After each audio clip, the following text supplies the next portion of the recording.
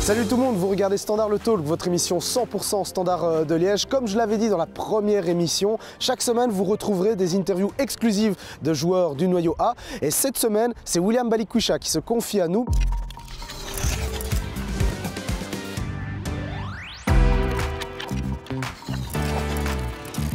William Balikwisha, 24 ans, né en Allemagne, grandi à Bruxelles. J'ai deux petites sœurs, deux petits frères et je suis joueur du Standard de Liège. Mon premier souvenir avec le ballon, c'était euh, dans un petit club de, Bruxelles, pas loin d'Anderlecht justement, il s'appelait le Bonheur FC. C'est là que j'ai commencé euh, le football, par hasard d'ailleurs. J'ai été testé là-bas, j'ai fait deux semaines. Donc euh, j'ai fait- j'ai eu le temps de tester une semaine, puis la deuxième semaine c'était accepté. J'ai joué un match et les entraîneurs sont partis voir euh, mes parents. Ils ont dit que non, votre enfant a trop un haut niveau pour, euh, pour pouvoir rester là. Du coup, mon père s'est décarcassé pour trouver un autre club et on est tombé sur, sur ma mère travaillait pas très loin et elle voyait souvent des, hum, des jeunes joueurs, enfin des jeunes en tout cas jouer au foot parallèle. Elle s'est dit, ben, c'est un club, pourquoi pas le- le- l'amener là, juste histoire de voir si s'il a les qualités pour pouvoir passer ce, club et c'est comme ça que je me suis retrouvé là-bas. J'ai commencé le foot à 5 ans et c'est là-bas que j'ai commencé. L'entraîneur du Bonheur a dit à mon père, votre enfant, on veut bien le garder mais il va perdre son temps euh, ici parce qu'il n'y a pas, y a pas euh, autant d'entraînement en semaine. Donc moi, ce que je peux vous proposer, c'est d'aller voir juste ici en dessous. Donc nous, le Bonheur était au-dessus de la rue et en dessous, il y avait le, centre de formation d'Anderlecht. Donc du coup, il dit à mon père, ben, je vous propose d'aller jeter un coup d'œil à Anderlecht et de- d'essayer de, de trouver un test pour votre enfant et puis, et puis on verra euh, ce qui va se passer. Du coup, mon père, on, va à Anderlecht, il parle avec euh, un membre de, de là-bas, il arrive à, à, à me faire rentrer là-bas, à me faire tester en tout cas. Je réussis mes tests et puis c'est comme ça que c'est parti. Et c'est là où je fais 10 ans là-bas. On n'est pas avec le groupe directement. En fait, il y a des périodes, voilà. Et donc, il y a une période en été, en janvier, et on est une cinquantaine de jeunes joueurs. Et le, test va durer une semaine, deux semaines, ça dépend, ça dépend d'eux. Et au fur et à mesure du, test, ben, ils éliminent des joueurs. Et si tu restes parmi les trois ou, le seul qu'ils ont, qu'ils ont considéré comme apte à pouvoir intégrer le, club, ben, ça veut dire que tu accepté. Donc j'ai été accepté, il faut bien expliquer ça, donc j'ai été accepté. Ensuite, euh, donc je m'entraîne normal, des entraînements très intensifs, j'avais jamais, jamais connu ça, c'était mes débuts. On court beaucoup, c'est beaucoup un peu, c'est ben, c'est déjà tactique, pas beaucoup comme en équipe première, mais c'est déjà un petit peu tactique. Et on, à cette époque-là, on jouait des 5 contre 5.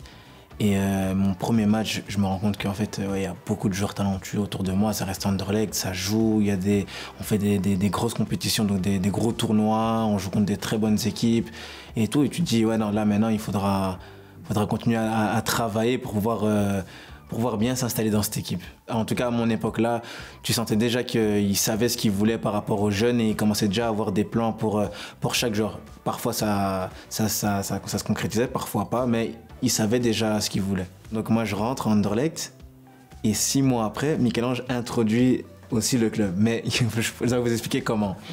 Donc moi, j'ai réussi mes tests. Ça faisait deux semaines. Et donc mon père venait, venait me voir, mais André, il y a comme un petit terrain près de là où je m'entraînais. Et Michel-Ange, à chaque fois, il prenait son ballon et il allait taper sur le ballon avec mon père, il courait. Et un jour, euh, le directeur de l'académie s'appelait Marc, Marc Van Rasbeek. Et il vient chez mon père et il lui, il lui dit euh, Il a quel âge votre enfant et. Et euh, il dit euh, non, non, non, non, lui, euh, mon père, il, il lui répond non, non, non, pas lui. Lui, pas encore le moment. D'abord, on regarde avec le grand, puis on verra. Et puis le directeur dit non, non, non, s'il vous plaît, il a vraiment énormément de talent. Et puis mon père dit ouais, il est de la génération 2001. Il dit laissez-le moi, ne fût-ce qu'un jour, s'il aime bien, ben, il peut introduire. S'il aime pas, ok, je respecterai votre, euh, votre choix. Il, ne, viendra pas en Anderlecht. Puis Michel-Ange, il va, on va en test. Il fait, il, fait, il fait son entraînement. Il aime de dingue. Et puis là aussi, c'est parti là. Donc euh, il n'y a, eu, pas eu beaucoup de temps. Il y a eu un écart de peut-être six mois. Et puis il a, il a introduit le, le truc. Parce qu'il était sûr de son choix là et il a dit ok, non, je vais jouer. Quand j'ai commencé le foot, en fait, mon père m'avait acheté un maillot de Barcelone. Et à cette époque-là, c'était vraiment Ronaldinho. C'était Ronaldinho parce que c'est la classe, c'est de l'art. C'est un joueur vraiment qui m'a beaucoup inspiré dans ma jeunesse. Si je pouvais devenir comme lui, ce serait incroyable. Il y a Sambi Lokonga, le, petit frère de, de Paul José Mpoku. Il y a, il y a qui d'autre Il y a Salemakers qui, qui est à Bologne. Il a joué à Milan. euh, ben, Zigno, Zigno qui est dans mon équipe ici, ben, on jouait déjà l'un contre l'autre des petits et je suis venu au standard, ben, on a joué ensemble. Puis, puis quand je suis passé pro, ben, il était, lui il était déjà en pro donc on s'est retrouvés encore ensemble. Euh, oui, il y en a encore plein qui, m'en passent, sinon il y a une grande liste. Au fur et à mesure du temps et des années, quand tu grandis dans ce championnat, même étant jeune, l'adversaire devient limite des, on devient limite des amis. Moi, si je vous montre mon répertoire aujourd'hui, la, majorité c'est des joueurs de foot avec qui j'ai joué et contre qui j'ai joué.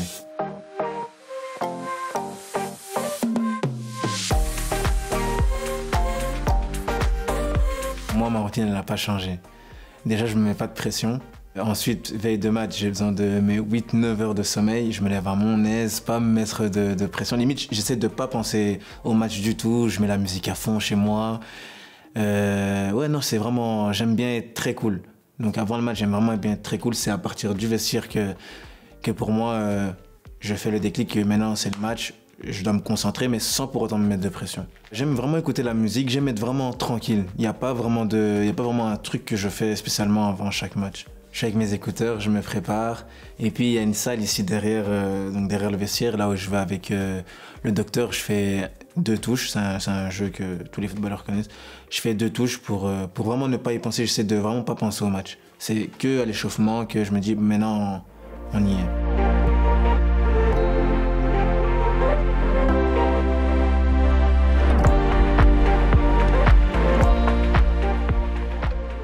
pense que partout, tous les joueurs aiment bien avoir euh, leurs écouteurs aux, oreilles, écouter leur musique ou écouter ce qu'ils veulent écouter. Mais si vous rentrez dans le vestiaire, vous allez entendre, il y a la musique sur le, sur le baf.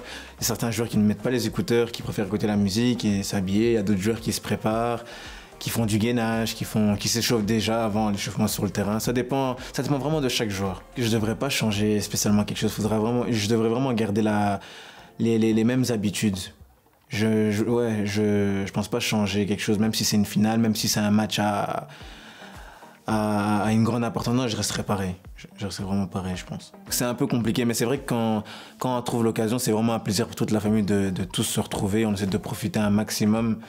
Et ouais, non, c'est chouette. comme j'ai déjà dit assez souvent, on s'encourage beaucoup. On s'encourage beaucoup. Il regarde mes matchs, il me donne des conseils avant, avant chaque match.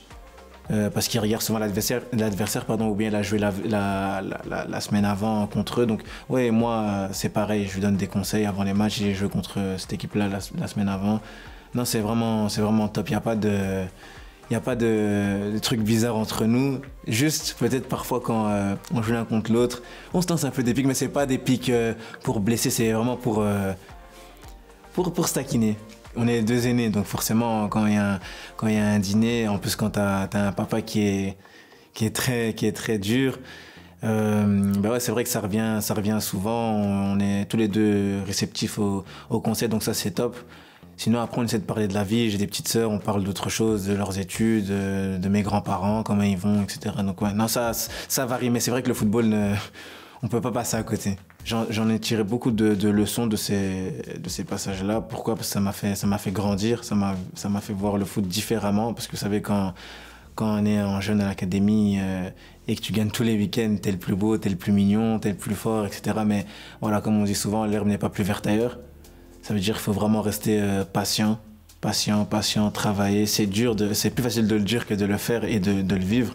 Mais voilà, c'est la seule chose que, si je peux me permettre de donner ce conseil-là aux jeunes qui nous suivent, ben, c'est vraiment de rester patient, de, de, travailler, de vraiment écouter les, les, les, conseils et de, de voir aussi ce que les jeunes joueurs qui sont passés par l'académie subissent en équipe première et comment ils ont fait pour, euh, pour pouvoir exploser, c'est vraiment, c'est vraiment, c'est vraiment un tout. Faut pas juste se dire ah purée ils ont explosé, moi je galère, etc. Non non, il y a tout un processus. On n'explose pas comme ça. Après, chacun sa chance, chacun son temps. Tout le monde n'est pas pareil. Voilà, moi ça a pris un peu plus de temps que, que prévu, mais aujourd'hui je suis très content parce que ça m'a permis de, de, grandir et de voir le football différemment. Ben justement, moi je n'étais pas préparé. Justement, j'ai dû, j'ai dû vivre la chose pour après comprendre que non, il fallait passer par ça.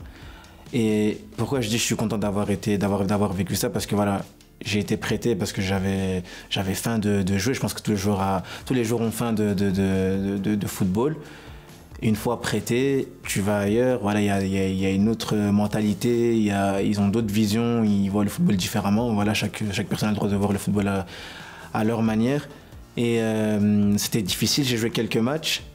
Ensuite, ça, ça, devenait un peu plus compliqué parce qu'il y a eu un changement d'entraîneur là-bas. J'ai dû revenir ici, euh, dans mon club. Donc du coup, je reviens ici. Puis on m'a fait comprendre que voilà, j'avais un contrat professionnel, je ne pouvais pas rester avec la réserve. Parce qu'à ce moment-là, il partait en stage à Marbella. Puis je pars en prêt à, à Maastricht. Et là, j'explose encore. Là, je me sens beaucoup mieux. Et puis le coronavirus, j'ai dû, j'ai dû revenir ici. Quand je reviens ici, la préparation, je m'étais bien préparé, j'y vais à fond, je mets, je, mets, je mets des buts en préparation. Ensuite, j'ai ma blessure à, aux épaules, j'ai dû me faire opérer des deux épaules. Donc c'était un coup dur, je reviens en janvier, ça devient compliqué parce que les, les médecins, etc., ils avaient un peu peur. Même moi, mentalement, c'était pas encore top parce que j'avais peur qu'un duel, ben, que ça, ça ressorte. J'ai dû attendre l'année d'après pour, euh, pour voir un peu plus clair. Puis là, il y a eu le transfert de mon frère et ça, c'est un peu plus compliqué. Donc j'étais resté avec la réserve. Et c'est l'année encore d'après que, que, ça, ben, ça, ça a marché. Mais moi, moi à la base, euh, pas, je suis arrivé en retard à la préparation parce que je n'étais pas dans la liste de, de commencer la, la, prépa avec les pros. Et Ronidella demande euh, que je revienne de vacances parce que j'avais un contrat professionnel. Et il voulait voir tous les jours pour qu'après, lui prenne cette décision de, de, de, dire lui il reste ou lui, euh, lui il peut s'en aller. Donc je reviens et on a une très bonne discussion avec lui euh, dans son bureau. Il me demande c'est, quelle est ma vision des choses, qu'est-ce que j'ai envie, etc. Et je lui dis, je lui dis clairement, voilà, moi, euh, j'aimerais bien, j'aimerais bien jouer, j'aimerais bien exploser. Et il me dit, ok, pas de problème, ben, on fait la réparation, tout se passe très très bien. Il me parle, il me conseille beaucoup. Euh, je joue, j'évolue et tout. Puis euh, c'est à ce moment-là que j'ai dû, j'ai dû signer mon nouveau contrat parce que j'étais en dernière année. Et j'ai reçu mon nouveau contrat et puis tout est, tout est venu vraiment à la chaîne et j'ai explosé tout euh, d'un coup. Comme on dit, euh, euh, il faut être là au bon moment, au bon endroit. Ça veut dire que moi, j'avais la confiance de toute l'équipe, de tout un staff. Donc ils m'ont vraiment aidé à vraiment à, exploser à ce moment à ce moment-là et tout. C'était vraiment c'était vraiment chouette, c'était vraiment top de, de, de, travailler avec le staff qui, qui est parti aujourd'hui et toute l'équipe parce que voilà, ils m'ont vraiment, ils m'ont vraiment aidé, que ce soit en dehors du terrain et sur le terrain. J'étais toujours euh, mis en valeur. Et d'ailleurs, toute l'équipe était, était mise en valeur. On était vraiment comme une, comme une famille. Et ça, c'était le premier discours euh, du coach quand on est parti en stage en Hollande. C'est qu'on doit être vraiment une famille et quand on arrive sur le terrain, se battre les uns pour les autres. Et c'est ce qui a donné euh, notre saison dernière. Oui, un joueur en confiance, ça change tout. Ça change tout, surtout quand tu as la confiance de, ton entraîneur et quand tu as la confiance de tes coéquipiers. Forcément, tu es très, très léger sur le terrain.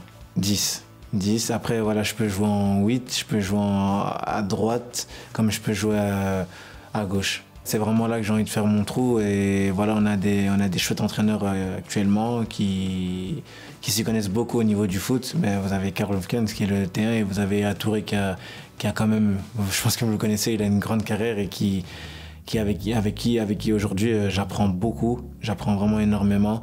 Donc euh, ouais, c'est vraiment top de travailler avec eux. Ouf, dans le foot aujourd'hui... Oui, il y a Messi.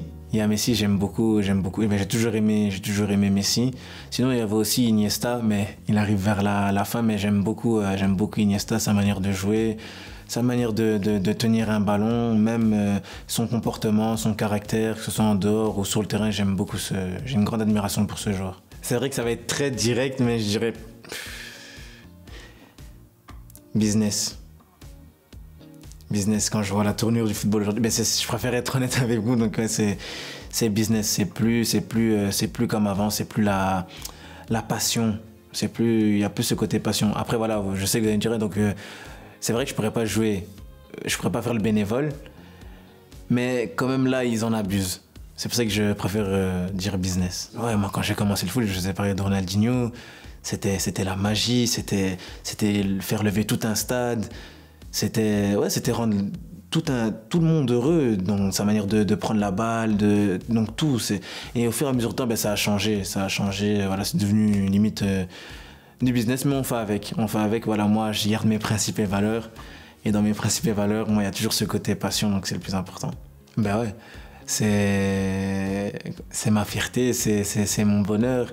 Il est arrivé, euh, donc c'est une anecdote, il est arrivé le, il, a, il arrivé le 13, le 13 septembre.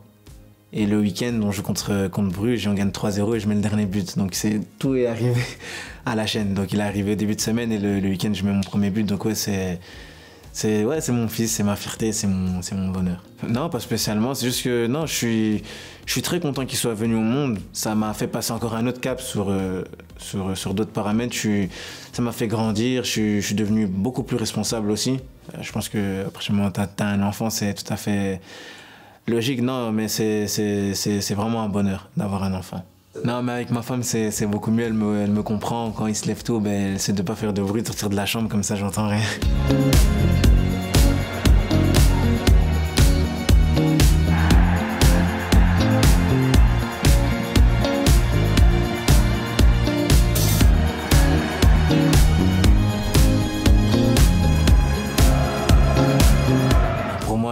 investir, c'est hyper important. C'est, un euh, c'est un peu ma deuxième maison. C'est ma, c'est ma deuxième maison. C'est là où on partage tout avec les coéquipiers. C'est là où on a des secrets. C'est là où on fait, on fait tout. On fait vraiment tout, euh, tout dedans. Et pour moi, c'est, hyper, c'est hyper important, pardon, d'avoir un, un, très bon vestiaire, que chaque joueur puisse avoir confiance euh, en, en ses partenaires.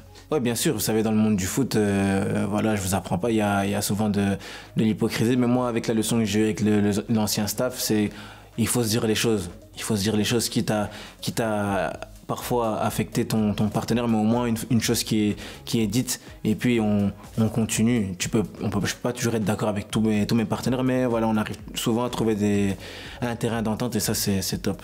Ben, je parlais d'abord de la victoire. Ben, on, est, on est tous très contents parce que euh, on a travaillé, on travaille chaque semaine dur pour pouvoir faire de, bons résultats euh, le week-end. Donc on est tous euh, très fiers, on veut partager un moment avec les supporters. Puis une fois qu'on rentre dans le vestiaire, ben, c'est la fête. Je pense que dans chaque vestiaire c'est pareil, musique à fond, on célèbre et tout, on est très content. Après une défaite, c'est vrai que c'est très compliqué. Ben, moi, si je dois parler personnellement, c'est vraiment très très douloureux. Après, ça dépend de la manière aussi, mais la plupart du c'est très douloureux. De, de, Après une défaite, ben, la nuit, c'est difficile de dormir. Tu, tu revois les images. Tu, quand, on met la chaîne, moi, personnellement, quand je remets les chaînes Eleven sur, euh, sur ma, ma télévision, c'est. Je me refais le, film dans ma tête, je revois les images c'est ouais, non, c'est compliqué. Et même pour repartir la semaine, c'est lourd. C'est différent de, après, après une victoire. Mais on est des footballeurs et on est obligé de faire comme ça, c'est comme ça l'Union l'année dernière ici. Ouais. Euh, ben, Bruges. 3-0, ouais. Euh, ben c'est ben, négatif, c'est quand même euh, quand on a joué contre, contre Anvers. Ok, certes, j'avais marqué, mais quand mon frère est monté, voir tout un stade siffler. Et ouais, siffler, huer, ça m'a marqué. Je savais pas que il y avait autant d'impact alors qu'à ce moment-là, on menait quand même 3-0 je savais pas que, que ça allait être comme ça, donc ça m'a un peu choqué. Comme je dis souvent, euh, même hors caméra, pour moi, c'est les, les meilleurs de, de Belgique. Il n'y a, pas, a pas photo. Je pense que nulle part, euh, tu, on pourra trouver des supporters de, comme, comme ici, comme le standard. Du taekwondo, je pense. je pense que j'aurais fait du taekwondo parce que mon, mon père, d'ailleurs, était prof. Ben, il est toujours prof actuellement. Donc, ouais, je, je pense que j'aurais fait du taekwondo. Je suis en mode essoufflé. je suis. Ouais, c'est bon, c'est passé, victoire ou défaite, c'est fini, je peux, je peux me déconnecter un petit peu parce que c'est très très lourd, même si on essaie de pas euh, se mettre de pression, mais il y a quand même une petite pression. Même si je mets les écouteurs, je passe quand même, euh, pour venir au vestiaire, je passe quand même autour du stade, je vois les gens quand ils préparent le terrain, il y a un meeting, il y a, il y a une certaine atmosphère qui fait que même si tu veux pas te mettre la pression, mais la pression va venir quand même se poser à toi, donc... Euh, quand je rentre dans ma voiture, j'essaie de. Je suis KO, je suis explosé.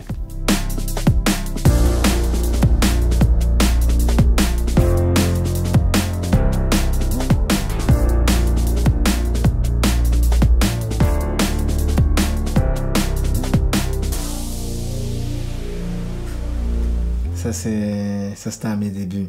Ça, c'était à mes débuts. Et. Ouais, non, c'est c'était vraiment une fierté de, de pouvoir euh, être dans, dans, cet effectif-là. Quand vous voyez les joueurs, il y avait, Paul-José Mpoku, Edmilson, euh, Merveille qui est encore avec moi, Cavanda, Luindama, Régie, Chimirot. Collins, ben Zigno, avec qui j'ai toujours connu étant plus jeune, Samuel Bastien, Renaud Aymon. Moi, non, il y avait des, des top joueurs. C'était Moussa aussi, que j'oublie, je n'avais pas vu. Marine, Costas. Ouais, non, vraiment, c'était vraiment une fierté pour moi de, de pouvoir euh, intégrer cet effectif-là parce qu'il y avait vraiment de, de très très bons joueurs. Ah non, ça c'est Luis. Luis, ben, c'est un grand frère pour moi. C'est un grand frère, malgré, malgré tout ce que vous pouvez penser, c'est vraiment un grand frère. Il m'a il m'a vraiment pris euh, dès le début où je suis passé en pro. Il me ramenait carrément même à la maison, lui, alors qu'il habitait à l'opposé. Non, c'est un, un, grand frère avec qui je suis toujours en contact. Et euh, non, je peux que le, je peux que le remercier pour, euh, pour tout ce qu'il a fait pour moi et je lui souhaite vraiment tout le bonheur à l'avenir. C'est vraiment un chouette gars. Mehdi, Mehdi pareil. Pareil, je suis, son bon petit, lui. C'est un, très très grand joueur qui a fait beaucoup ici au Standard et avec qui euh, je m'entendais très très bien. Jusqu'aujourd'hui, je m'entends très très bien. On s'échange beaucoup et on prend souvent de, de, des nouvelles l'un à l'autre. Et non, c'est comme je dis, c'est vraiment une fierté d'avoir pu jouer euh, avec ces joueurs que je regardais euh, auparavant à la télé. Aujourd'hui, avoir pu jouer avec eux quelques minutes, ben c'est je, suis un homme très heureux. Non, euh, enfin, j'ai pas vraiment, pas vraiment de pression.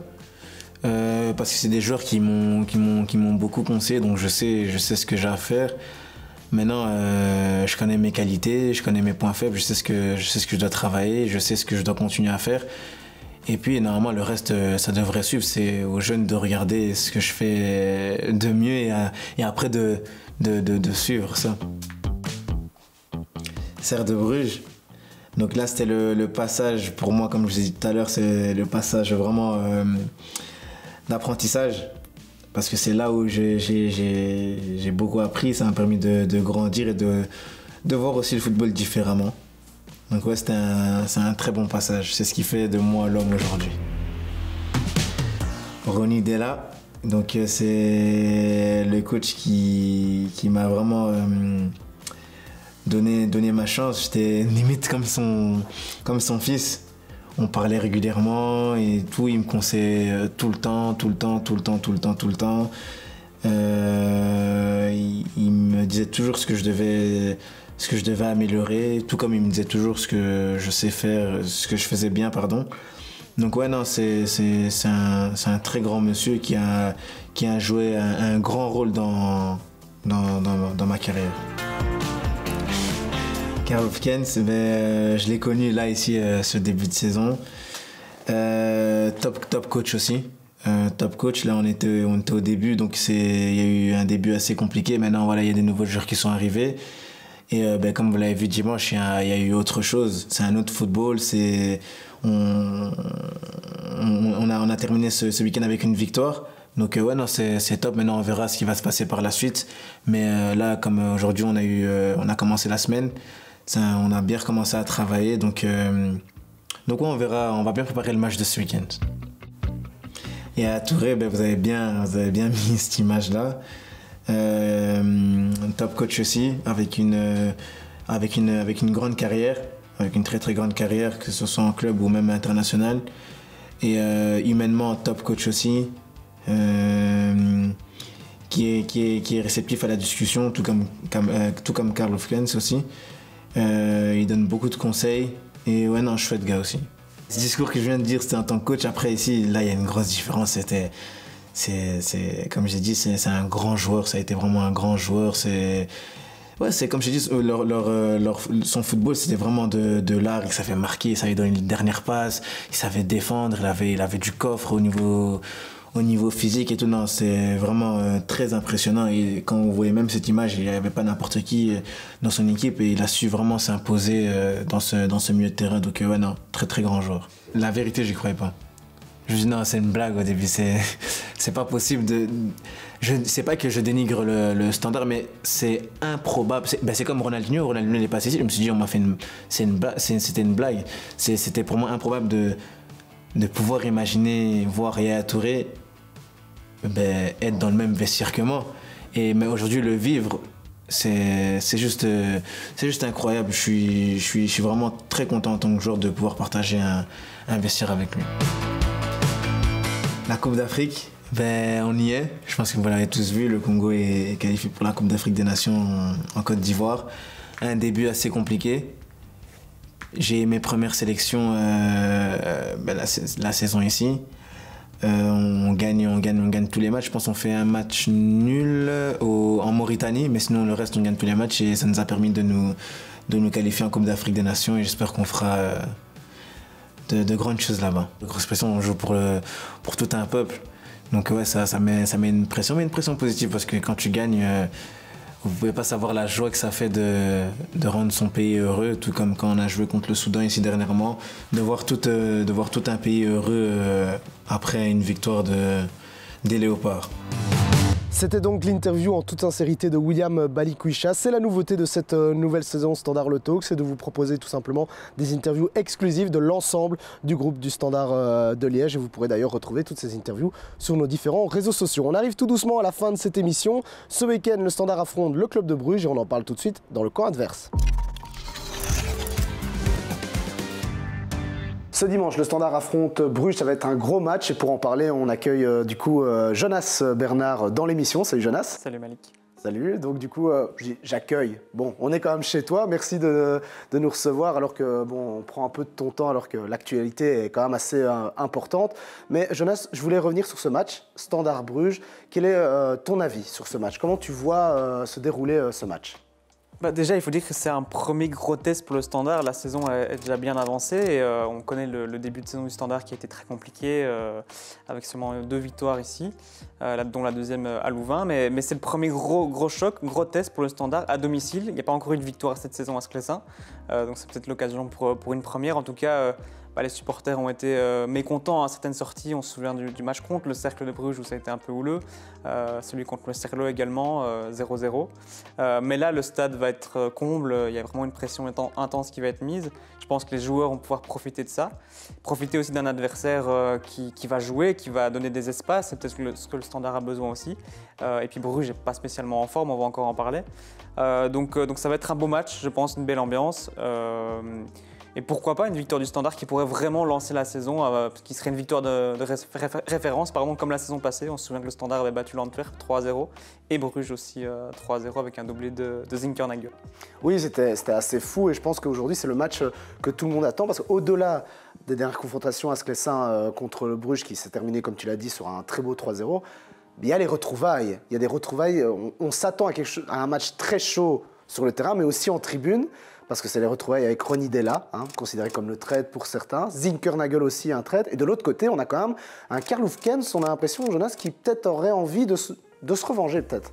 Ouais, moi je, me souviens quand même au, début de saison, enfin avant le début de saison, quand il y a eu le calendrier de la Pro League qui a été dévoilé, ben forcément cette date du Standard Bruges a tout de suite été cochée par tout le monde. Donc euh, oui, c'est clairement un match que les gens, attendent. Euh, beaucoup de tensions. Alors il faut quand même se rendre compte que le départ de Ronnie Dayla, il a été très mal vécu. Euh, non pas parce que Ronnie Dayla a choisi de rejoindre un concurrent, mais parce qu'il a quelque part menti aux supporters, il a menti aux gens du club. En tout cas, il n'a pas dit toute la vérité. Euh, et donc ça, ça a été très mal vécu. Je sais que ça a été mal vécu aussi au sein du club, parmi, les, parmi les gens qui travaillent dans ce club aussi. Donc, et, par, et par vous aussi en tant que journaliste, quand vous l'avez interviewé, qu'il a dit clairement bah, vous croyez qui euh, Vous croyez ce qu'on raconte euh, ou, vous me croyez moi? Enfin, c'est quand même assez fou quand même. Hein. ouais, ouais, je me souviens d'un de mes confrères de vers l'avenir la DH qui avait posé la question et qui effectivement, on lui a répondu qu'en gros, il y avait, il fallait pas croire ces, rumeurs. Moi, j'étais le premier à dire un peu autour de moi que je ne pensais pas que Ronnie Dela irait à Bruges euh, parce qu'il avait l'air attaché au, au projet standard. Euh, donc, voilà, et dans ce qu'il laissait transparaître, on n'avait pas l'impression qu'il ferait ce choix. Donc on a été euh, vraiment un petit peu surpris et un petit peu aussi, on va pas dire trahi, mais voilà, on, s'est fait un peu avoir aussi. même si le choix de rejoindre Bruges se respecte, hein, Ronnie Deyla a souvent expliqué au standard qu'il manquait un peu de moyens finalement par rapport aux joueurs. donc aller à Bruges, là où forcément il y a beaucoup plus de, euh, de possibilités et d'ambition, ben, voilà, on, peut, on peut aussi le comprendre. Mais donc oui, ça va être un match tendu. Euh, forcément, les supporters ne l'ont pas pardonné. Parler des Zinkernagel, je pense que ce sera moins le cas. Euh, parce que là, le joueur, il a vraiment voulu à un moment revenir au standard. Ça n'a pas été possible. il a dû trouver une solution. Et donc voilà, il devait faire un choix pour sa carrière, pour sa famille, comme Steven Alzate nous l'a expliqué. C'est qu'il faut le respecter. Et je pense que les, joueurs auront peut-être moins, les, les, supporters pardon, auront moins de, de rancune vis-à-vis de lui. Euh, mais voilà, un gros match en, perspective. Et on parlait de Karl Hufkens. Il euh, rappeler ici, je fais un petit parallèle. Euh, début de saison compliqué quand même pour Bruges, qui, peine en ce moment. Encore un match nul ici contre Saint-Tron. Euh, la saison passée, à la même époque, ou il y a deux ans plutôt, euh, Karl avait un meilleur bilan. Il avait déjà gagné en Ligue des Champions. Donc, euh, voilà, compliqué pour Deyla. Et pour Karl Hofkens, compliqué le début de saison. Mais on le sait, il n'a pas eu les joueurs qu'il fallait, qu'il aurait dû avoir au début de saison. Là maintenant, avec une nouvelle recrue, Alzate, Genepo, Soa, Kanga qui marque malgré tout, même si tout n'est pas parfait. voilà, ça commence à se mettre en place. Mais il va falloir forcément un bon résultat ou quelque chose de positif dimanche contre Bruges pour vraiment débuter la saison. Vous regardez euh, Standard le Talk avec Jonas Bernard, euh, journaliste spécialisé Standard euh, pour Sudinfo. Jonas, est-ce que voilà, les supporters vont préparer quelque chose?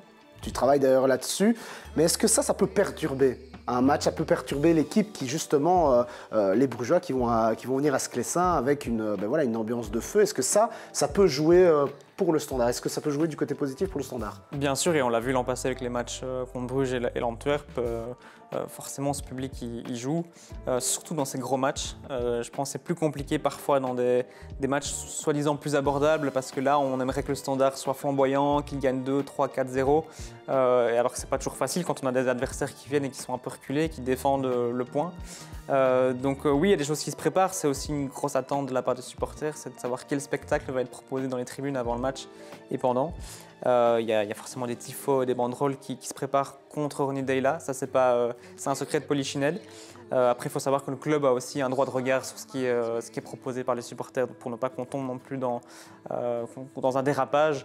On se souvient de, l'épisode de la banderole anti de four qui avait quand même fait beaucoup parler. Là, on avait peut-être dépassé des limites. Est-ce qu'on pourrait avoir ce type de, banderole? Est-ce qu'on pourrait A priori, non, parce que, parce que le standard, comme, comme je l'ai dit, a un droit de regard et il y a un projet souvent qui doit être soumis par rapport à un tifo et par rapport à des banderoles. Euh, quand il y a des messages à faire passer, même contre les dirigeants du standard, le, standard laisse une certaine liberté d'expression, hein, donc les, supporters ont le droit de s'exprimer. Euh, il faut juste voilà, rester dans, les limites, ne pas, ne pas déraper. Donc je pense que ce sera le cas dimanche. Il n'y aura, pas, il y aura pas de polémique par rapport à ça. Il y aura un message fort, à mon avis, des supporters.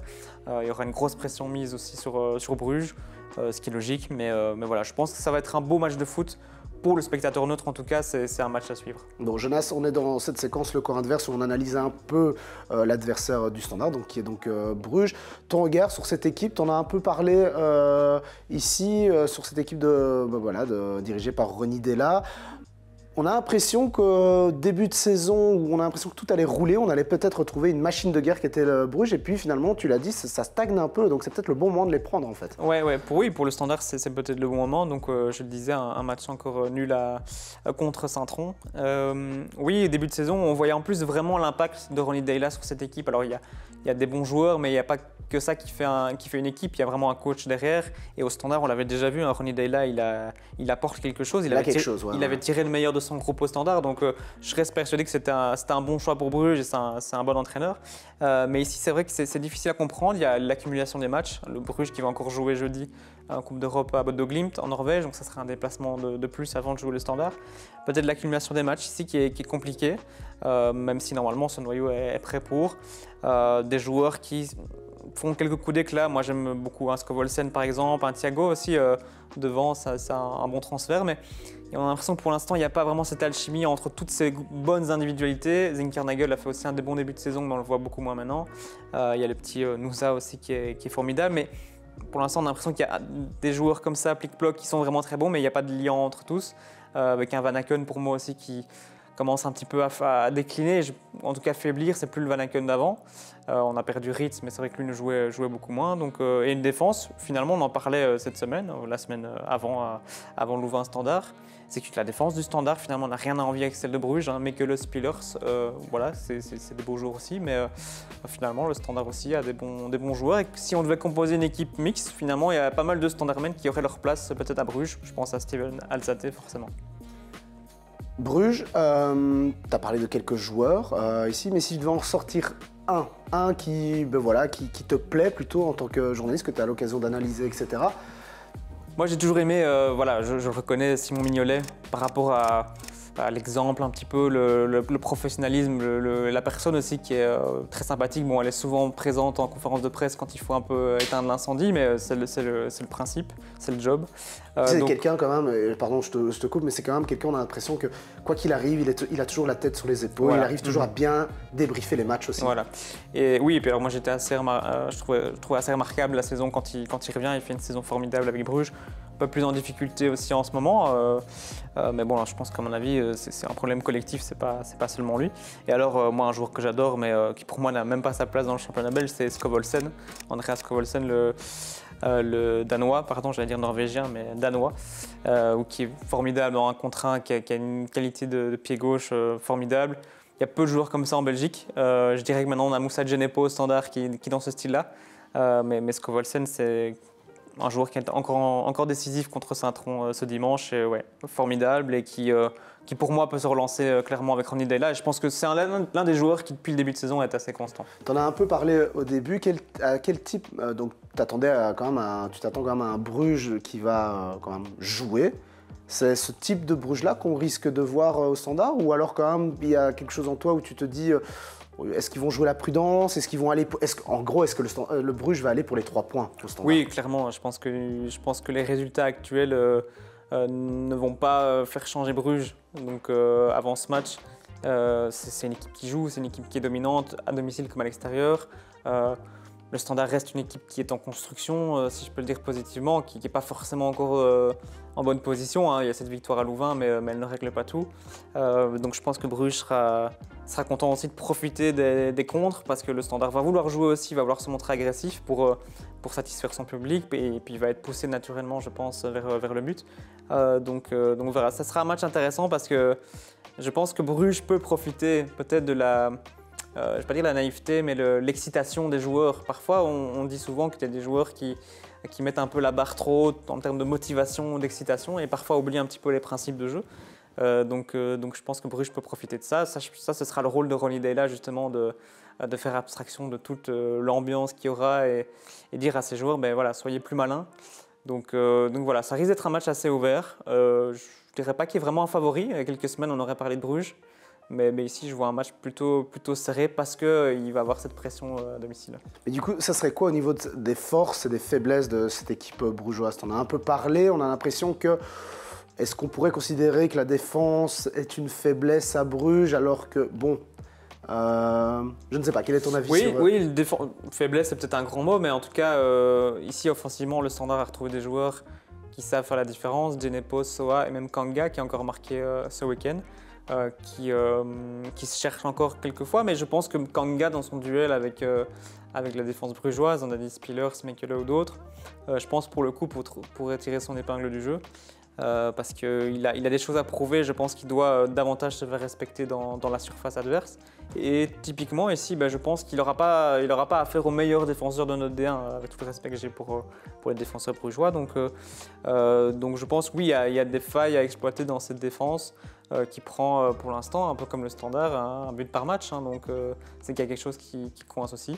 À l'inverse, je pense qu'offensivement, voilà, c'est une équipe qui peut faire très mal à tout moment. Donc c'est l'avantage du standard, c'est que s'il y a bien un secteur de jeu qu'on ne peut pas vraiment reprocher, même s'il prend un but par match, c'est quand même la défense menée par Van Eusden, Bocadi et Laifis maintenant qui est blessé, et donc euh, Ngoy pour le remplacer, qui est quand même assez, assez cohérente et assez solide depuis le début de saison. Oui, c'est vrai. Donc, du coup, on- bon, la crainte, quand même, c'est de se dire, même si on a une très bonne défense, il y a quand même un réservoir offens- offensif chez les Bourgeois qui est quand même assez, euh, assez exceptionnel. C'est- là où c'est marrant de, de tendance parler de Bruges comme ça, parce que je pense qu'on a l'impression, on, a le sentiment de se dire que Bruges, en fait, est quand même sur papier euh, l'équipe qui défend le mieux le, football belge. C'est peut-être l'équipe, la, on va dire, peut-être la plus puissante en termes d'effectifs. Et au final, aujourd'hui, on peut se dire, euh, bah, il y a des points à prendre contre cette équipe. C'est quand même euh, C'est la preuve que vous avez, beau avoir les meilleurs joueurs du championnat, et je pense que c'est le cas, même s'il y a pas mal de bons joueurs aussi à, Gand, maintenant aussi à Anderlecht, mais euh, c'est la preuve que c'est pas avec les meilleurs joueurs que vous faites la meilleure équipe, et pour l'instant, la meilleure équipe, c'est certainement pas Bruges.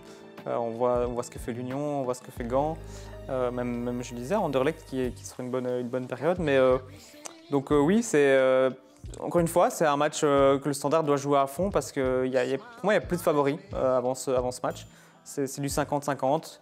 Euh, mais il ne faudra, il faudra pas se laisser non plus trop emporter par l'ambiance, rester concentré euh, sur les, consignes de Karl Hofkens et sur, euh, sur la physionomie du match. Donc voilà, il ne faudra pas non plus se jeter dans la gueule du loup.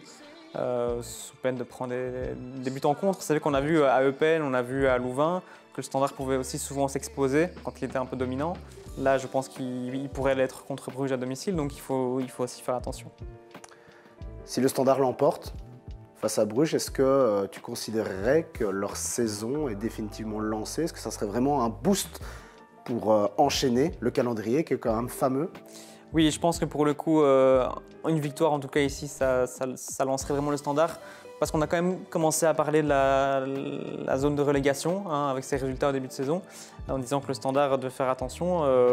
mais après tous ces transferts et après, si s'il y a une victoire contre Bruges après celle de Louvain, on va sortir un petit peu de cette zone et on pourra regarder un petit peu vers le haut. Le top 6 est déjà loin, même si la saison est encore longue aussi. Euh, mais donc euh, pour moi, une victoire contre Bruges doit en tout cas lancer la saison du standard. D'autant que vous le disiez, après il y a la réception d'Anderlecht, déplacement à Gand. On le rappelle, jusque mi-décembre, ils vont jouer encore Malines, euh, ils vont jouer Genk, l'Antwerp. Il y aura de nouveau le match contre Bruges et Anderlecht, ainsi qu'un choc contre Charleroi mi-décembre. Donc jusque, mi-fin décembre, il y aura encore un programme chargé pour, pour le standard.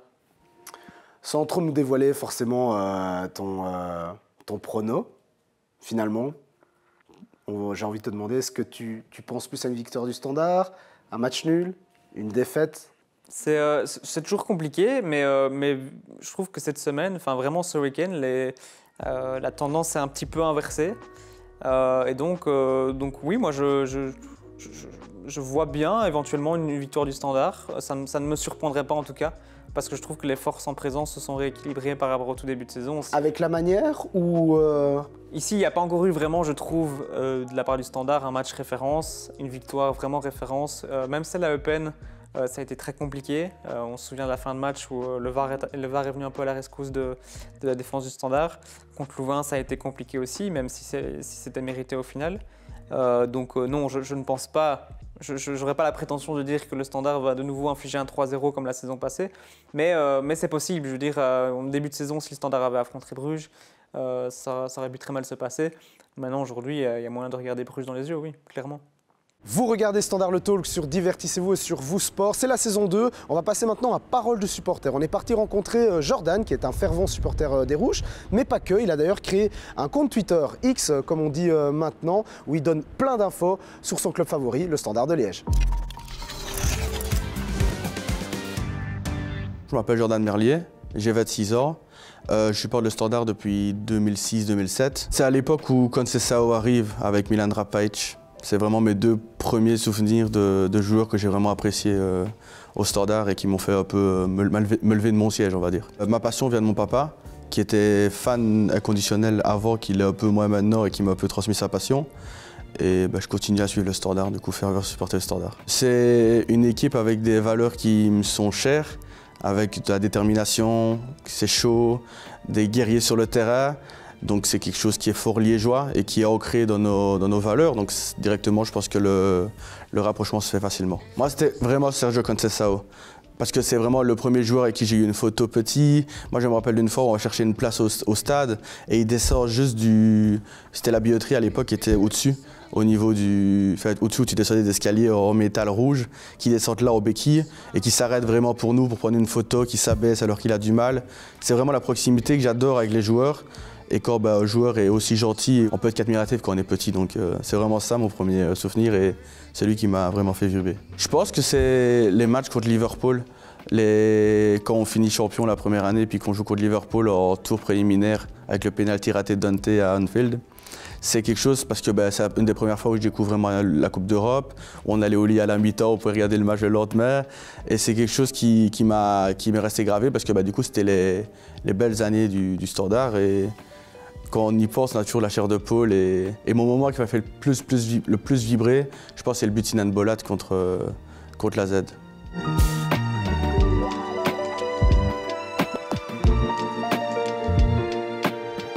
J'adore en fait réunir les gens. Et je faisais ce qu'on appelle des spaces, donc des genres de mini radios sur, euh, euh, Twitter, où euh, les gens venaient débattre du match. C'était pendant le Covid que ça se passait. Et j'avais beaucoup de gens qui venaient parce que ben, le standard était dans une situation assez compliquée, où ben, les gens avaient besoin d'extérioriser juste après le match.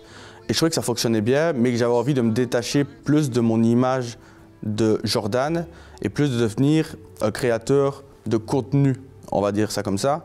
Et je voulais vraiment commencer à relayer les infos de journalistes compétents, éviter la fake news parce qu'il y en a beaucoup sur Twitter. Et il y a beaucoup de comptes, il y a certains comptes qui le faisaient déjà avant moi. Et je me suis dit, si je peux rajouter euh, l'option Space en plus, où j'ai pu avoir de très très belles euh, rencontres et de très beaux invités, comme Mathieu de Séville, euh, Ricardo Fati encore Will Steele, bah, je me suis dit pourquoi pas. Et du coup, je me suis lancé et, ça a directement fonctionné parce que les gens, je pense, ont adhéré au projet. C'est assez compliqué à gérer parce que ben, moi qui anime la chose, je ne peux pas réellement donner mon avis parce que ben, j'ai pas envie non plus de, me positionner et, que des gens se sentent un peu moins concernés par le sujet ou autre. Mais j'ai tout et c'est ce qui permet le débat. Et tant qu'on peut débattre sans insulte ou méchanceté, c'est le plus important. Il y a de tout. Il y a des gens pessimistes, optimistes, surtout avec 777 en ce moment, qui fait beaucoup de débat. Donc il y a beaucoup de pessimisme pour le moment surtout. Un de mes plus beaux souvenirs, c'était il y a pas si longtemps, c'est quand euh, Axel Witzel parle du de possible retour au Standard de Liège euh, l'année prochaine et on fait le tweet. Et il est repris, pas partout, mais on a une centaine, 200 likes, ce qui est anodin pour certains, mais qui est beaucoup quand c'est les premières fois. Et on se dit, ouais, c'est vrai que c'est quelque chose d'important. Et c'est là qu'on se rend compte que si on ne vérifie pas notre source avant de tweeter, il peut y avoir une fake news importante qui rentre. Donc on a une certaine responsabilité, même si en soi on ne fait que relayer des, journalistes. Et notre travail n'est pas être journaliste ou insider. On prend que ce qui a été dit et, euh, sur, les, sur les réseaux et le reste on laisse de côté parce que bah, ce n'est pas le plus important.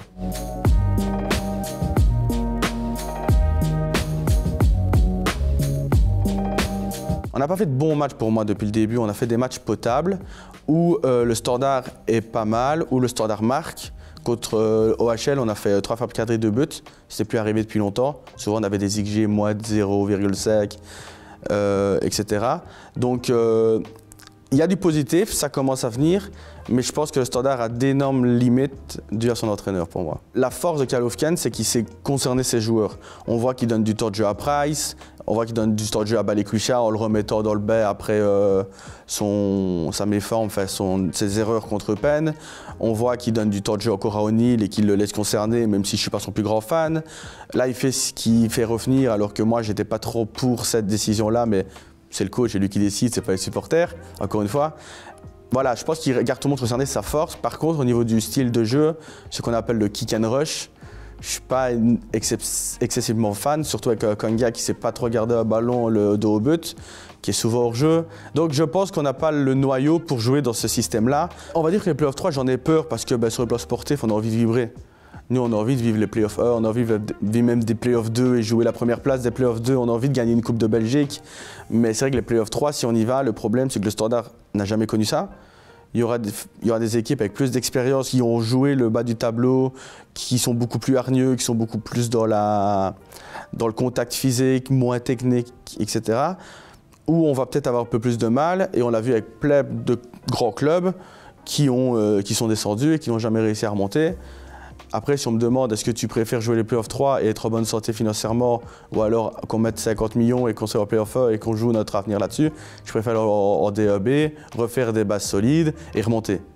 Voilà, c'est comme ça que je vois la chose, parce que je préfère voir le standard rester en vie que disparaître et que avoir euh, un titre et puis disparaître dans 5 ans. Voilà, c'est la fin de cette deuxième émission, de cette deuxième saison de Standard Le Talk. J'espère que vous avez apprécié. Surtout, je me répète, si vous voulez nous laisser des messages, n'hésitez pas à nous les envoyer à l'adresse rsl.letalk.be. Moi, je vous dis à très vite, à la semaine prochaine d'ailleurs, sur Divertissez-vous et sur Vous Sport pour un nouvel épisode de Standard Le Talk. Ciao, ciao